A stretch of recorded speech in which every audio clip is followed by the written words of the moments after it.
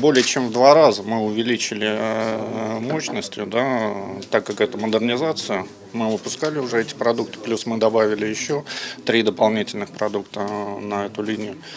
Вот, э, объем производства более чем в два с лишним раза э, возрастут. При этом э, численность э, персонала ну, останется примерно та, та же, что и на старой линии.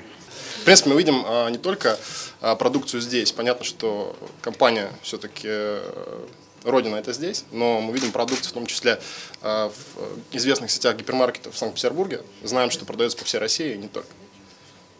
А нам, как банку, всегда приятно работать с партнером, который уверенно стоит на ногах. Очень приятно то, что череповецкие предприятия пищевой промышленности развиваются, и то, что даже в очень непростых экономических условиях э, вкладывают инвестиции в развитие производства, э, расширение ассортимента, обновление э, ассортиментной линии. И очень четко понимают потребности рынка. То есть производят не на авось, не то, что потом каким-то образом будут продавать, понимают свою нишу, оценивают рынок, ищут те новинки, которые бы были супер конкурентоспособны в этой нише. И нашим э, предприятиям это удается.